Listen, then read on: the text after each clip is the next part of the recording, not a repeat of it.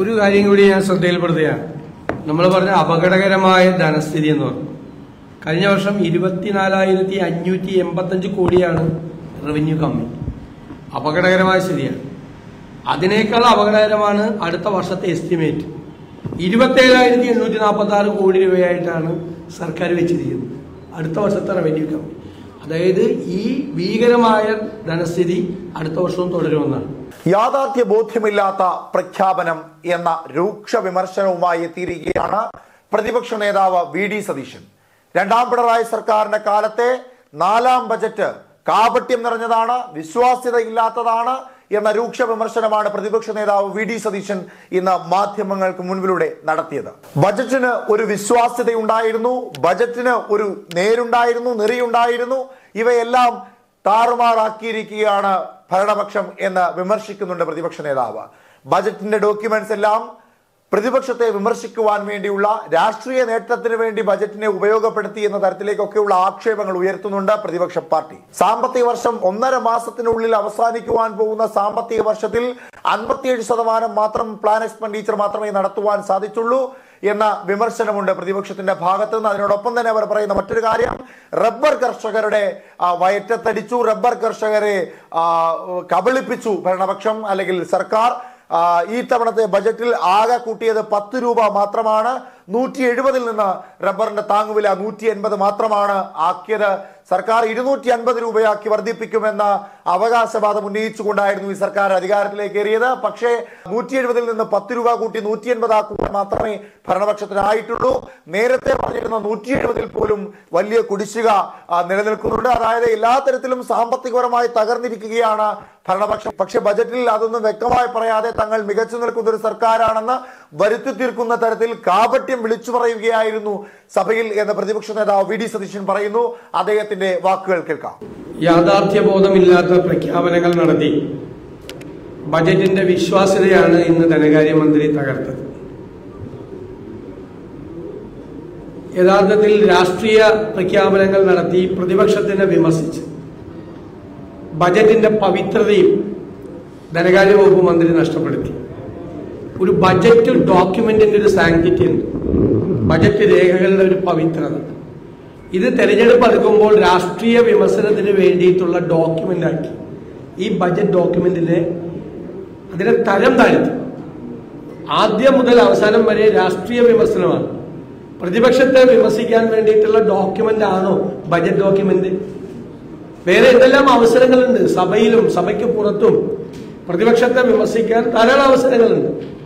പക്ഷേ ഈ budget document രാഷ്ട്രീയ വിമർശനങ്ങൾ നടത്തിയും രാഷ്ട്രീയ പ്രഖ്യാപനങ്ങൾ നടത്തിയും അതിന്റെ മുഴുവൻ പവിത്രതയും അത് ഇല്ലാതാക്കി എന്നതാണ് ഏറ്റവും വലിയ യാഥാർത്ഥ്യം.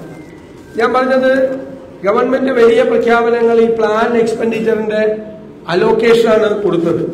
യഥാർത്ഥത്തിൽ കഴിഞ്ഞ വർഷം ഇപ്പൊ നിലവിൽ പ്ലാൻ എക്സ്പെൻഡിച്ചറിന്റെ അൻപത്തി അഞ്ച് പോയിന്റ് രണ്ട് നാല് ശതമാനമാണ് ചെലവാക്കിയിട്ടുള്ളത്. അതായത് ഇനി ഏകദേശം ഈ സാമ്പത്തിക വർഷം തീരാൻ ഒന്നര വർഷം ബാക്കി നിൽക്കെ ഒന്നര മാസം ബാക്കി നിൽക്കെ. അൻപത്തിയഞ്ച് ശതമാനം മാത്രമാണ് പ്ലാൻ എക്സ്പെൻഡിച്ചർ അതിന്റെ ചെലവ്. അപ്പൊ ഈ പ്ലാൻ അലോക്കേഷൻ എന്ത് വിശ്വാസ്യതയാണുള്ളത്? ഞാൻ കഴിഞ്ഞ ദിവസം പറഞ്ഞതുപോലെ ഇന്നും ലൈഫ് മിഷന്റെ പ്രഖ്യാപനം നടത്തി. ലൈഫ് മിഷൻ കഴിഞ്ഞ വർഷം എഴുന്നൂറ്റി പതിനേഴ് കോടി രൂപ ഇതുപോലെ ബജറ്റിൽ പ്രഖ്യാപിച്ചിട്ട് കൊടുത്തത് അതിന്റെ മൂന്ന് പോയിന്റ് ഏഴ് ആറ് ശതമാനമാണ്.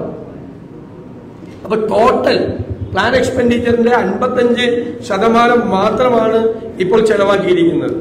മാത്രമല്ല യു ഡി എഫ് ഗവൺമെന്റിന്റെ കാലത്ത് കൊണ്ടുവന്ന വിഴിഞ്ഞം തുറമുഖ പദ്ധതിയെ കുറിച്ചാണ് ബജറ്റിൽ ഏറ്റവും കൂടുതൽ പരാമർശിച്ചിരിക്കുന്നത്. അന്നത് ആറായിരം കോടി രൂപയുടെ റിയൽ എസ്റ്റേറ്റ് തട്ടിപ്പാണ് എന്ന് പറഞ്ഞ അന്നത്തെ പാർട്ടി സെക്രട്ടറി മുഖ്യമന്ത്രിയായിരിക്കുമ്പോൾ ഉമ്മൻചാണ്ടി സർക്കാർ കൊണ്ടുവന്ന വിഴിഞ്ഞ പദ്ധതിയെ കുറിച്ചാണ് ഏറ്റവും കൂടുതൽ പരാമർശം ഇതിനകത്ത്. അതുപോലെ തന്നെ കൊച്ചി മെട്രോയെ കുറിച്ചും വാട്ടർ മെട്രോയെ കുറിച്ചും എല്ലാം സർക്കാർ അഭിമാനം കൊള്ളുകയാണ്. ഇതെല്ലാം ഉമ്മൻചാണ്ടി സർക്കാരിന്റെ കാലത്ത് കൊണ്ടുവന്ന പദ്ധതികളാണ് യഥാർത്ഥത്തിൽ. ഇത് കാർഷിക മേഖലയെ വളരെ നിരാശപ്പെടുത്തിക്കൊണ്ടിട്ടുള്ള ഒരു സ്റ്റേറ്റ് ഇതാണ്. കാർഷിക മേഖല നമ്മുടെ സംസ്ഥാനത്ത് ഏറ്റവും വലിയ പ്രതിസന്ധി നേരിടുന്ന ഒരു കാലഘട്ടമാണ്. നെല്ല് റബ്ബർ നാളികേരം അടയ്ക്ക സ്പൈസസ് എല്ലാ മേഖലയിലും പ്രതിസന്ധിയാണ്. പത്ത് രൂപ റബ്ബർ വികസന ഫണ്ട് കൂട്ടിക്കൊണ്ട് റബ്ബർ കർഷകരെ അവഗണിക്കുകയും അവരെ പരിഹസിക്കുകയുമാണ് ധനകാര്യമന്ത്രി ചെയ്തത്. യഥാർത്ഥത്തിൽ എൽ ഡി എഫിന്റെ മാനിഫെസ്റ്റോയിലുള്ളത് ഇരുന്നൂറ്റി അമ്പത് രൂപയൊക്കെ ഞങ്ങൾ അധികാരത്തിൽ വന്നാൽ വർദ്ധിപ്പിക്കുമെന്നാണ്. ഇപ്പൊ മൂന്നാമത്തെ വർഷമായി മൂന്ന് വർഷമായി. ഈ മൂന്ന് വർഷം കൊണ്ട് പത്ത് രൂപയാണ് വർദ്ധിപ്പിച്ചത്. പത്ത് രൂപ. ആണ് മനസ്സിലാക്കേണ്ടത്. പത്ത് രൂപയാണ് വർദ്ധിപ്പിച്ചത്. യഥാർത്ഥത്തിൽ ഈ നൂറ്റി എഴുപത് രൂപ തന്നെ അരിയേസായി കിടക്കുകയാണ്. കഴിഞ്ഞ വർഷത്തെ കൊടുത്തിട്ടില്ല. ജനങ്ങൾക്ക് ഉപകാരപ്രദമാകുന്ന ഒന്നും തന്നെ ബജറ്റിലില്ല എന്ന് പറയാതെ പറയുകയാണ് പ്രതിപക്ഷ നേതാവ് വി ഡി സതീശൻ. കൂടാതെ തന്നെ എല്ലാ തരത്തിലും നാട്ടിലെ സാധാരണക്കാരായ ജനങ്ങൾക്ക് വലിയ ബാധ്യത ഉണ്ടാക്കുന്ന തരത്തിലേക്കുള്ള കടമാണ് സർക്കാർ ഉണ്ടാക്കി വെച്ചിരിക്കുന്നതെന്നും അദ്ദേഹം വ്യക്തമാക്കുന്നുണ്ട്. ക്ഷേമ പെൻഷന് വേണ്ടിയിട്ടാണെന്ന് പറഞ്ഞു ഉയർത്തിയ രണ്ട് രൂപ സെസ് അങ്ങനെ ഉയർത്തിയാൽ ഇവിടെ ഡീസലും പെട്രോളും ഉപയോഗിക്കുന്നവരുടെ എണ്ണം കുറയും എന്ന് അന്ന് പ്രതിപക്ഷം പറഞ്ഞിരുന്നു അത് മുഖവരയ്ക്കെടുക്കാതെ സെസ് ഏർപ്പെടുത്തി. ഇപ്പോൾ നിലവിലത്തെ കണക്ക് പ്രകാരം കേരളത്തിൽ ഡീസലും പെട്രോളും ഉപയോഗിക്കുന്നവരുടെ എണ്ണം വളരെയധികം കുറഞ്ഞിരിക്കുകയാണെന്ന ആരോപണം ഉയർത്തുന്നുണ്ട് പ്രതിപക്ഷ നേതാവ് വി ഡി സതീശൻ. കൂടാതെ ഉമ്മൻചാണ്ടിയുടെ കാലത്ത് കൊണ്ടുവന്ന കാരുണ്യ പദ്ധതിയിൽ വലിയ കുടിശ്ശിക വരുത്തിയിട്ടുണ്ട്. അതുകൊണ്ട് തന്നെ സ്വകാര്യ ആശുപത്രികൾ കാരുണ്യ പദ്ധതി അംഗീകരിക്കേണ്ട എന്ന തീരുമാനത്തിലേക്ക് എത്തി. അത് ആരോഗ്യ മേഖലയ്ക്ക് എത്തിയ വലിയ അടിയാണ്. സാധാരണക്കാരായ ജനങ്ങൾക്ക് താങ്ങും തണലുമായി നിന്നിരുന്ന കാരുണ്യ പദ്ധതിക്കുണ്ടായ വലിയ അടിയാണ്. അതിന് ഉത്തരവാദി സർക്കാരാണ് ഇടതുപക്ഷ സർക്കാരാണെന്ന് അടിവരയിട്ട് പറയുകയാണ് പ്രതിപക്ഷ നേതാവ് വി ഡി സതീശൻ. ഇത്തരത്തിലുള്ള സാമ്പത്തിക പ്രശ്നങ്ങൾ ഉണ്ടാകുന്നതിന് മുമ്പ് നിരവധി തവണ വൈറ്റ് പേപ്പറിൽ പ്രതിപക്ഷം തങ്ങൾക്ക് പറയുവാനുള്ള കാര്യങ്ങൾ സാമ്പത്തിക ബുദ്ധിമുട്ടിനെ പരിഗണിച്ചുകൊണ്ട് ആ സാമ്പത്തിക ബുദ്ധിമുട്ടിനെ ഇല്ലാതാക്കുവാനുള്ള കാര്യങ്ങൾ വൈറ്റ് പേപ്പറിലൂടെ അറിയിച്ചിരുന്നതാണ്. പക്ഷെ രാഷ്ട്രീയ ലാഭത്തിനു വേണ്ടി രാഷ്ട്രീയ കണ്ണോടുകൂടി അതിനെ കണ്ടുകൊണ്ട് അത് അവഗണിച്ചു. ആ അവഗണിച്ചതിന്റെ തിക്തഫലമാണ് ഇപ്പോൾ സർക്കാർ അനുഭവിക്കുന്നത് എന്ന രൂക്ഷ വിമർശനവും ഉയരുന്നുണ്ട് പ്രതിപക്ഷത്തിന്റെ ഭാഗത്തു നിന്ന് എന്തായാലും എല്ലാ തരത്തിലും ജനങ്ങളെ ദ്രോഹിക്കുന്ന ഒരു ബജറ്റാണ്.